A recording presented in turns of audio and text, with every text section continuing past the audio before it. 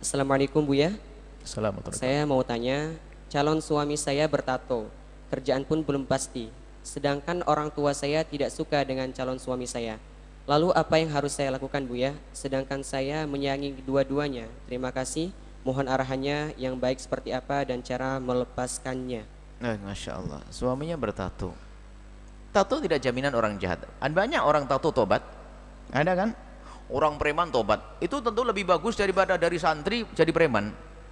Nah ini tentu lebih bagus. Jadi mohon maaf hei orang bertato kalau suaraku yang dengar suara ini yang di lapangan yang di alun-alun anda bertato, Anda jauh lebih bagus jika Anda bertato mula-mula pemabuk tiba-tiba langsung khusuk hadir pengajian. Jadi orang baik, jauh lebih bagus.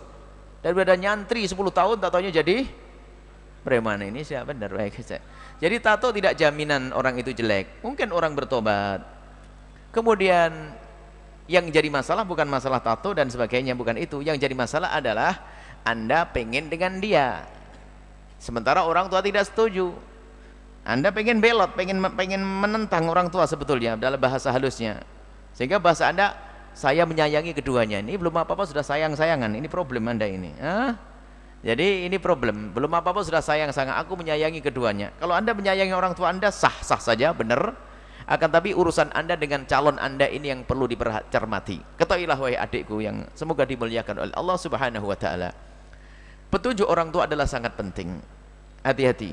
Petunjuk orang tuamu sangat penting. Kalau orang tua tidak menyetujui, itu tentu ada satu hal yang yang mungkin tidak bisa diungkapkan. Maka dari itu, bahaya sekali kalau seorang anak gadis mendahulukan cintanya sebelum musyawarah dengan orang tuanya.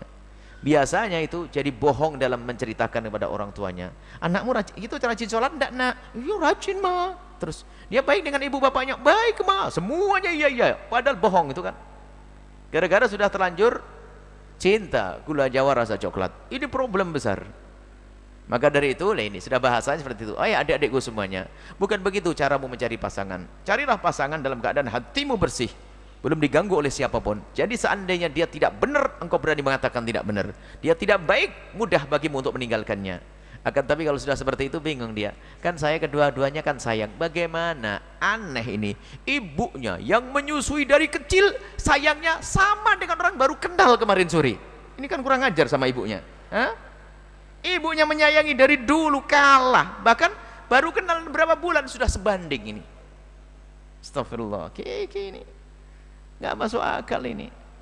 Mestinya ibunya yang paling disayangi dong. Gak bisa dikalahkan siapa pun. Baik itulah adik-adikku semuanya. Jadilah engkau orang yang patuh kepada orang tuamu. Keberkahan di balik itu semua. Insya Allah.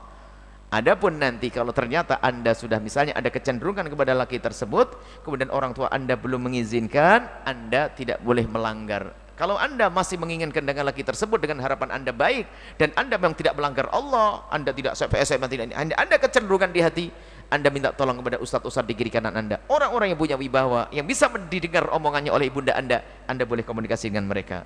Ke sini saya tolong nanti insya Allah. Saya akan ngomong dengan ibumu nanti. Jadi kita perlu dengan cara yang baik-baik, bukan mengajari yang jelek. Minta izin yang baik difahamkan orang tua. Setelah itu anda akan diizinkan. Kalau memang itu pilihan anda dan itu baik menurut anda, bukan dengan hawa nafsu anda di saat anda memilih. Wallahu a'lam bissawab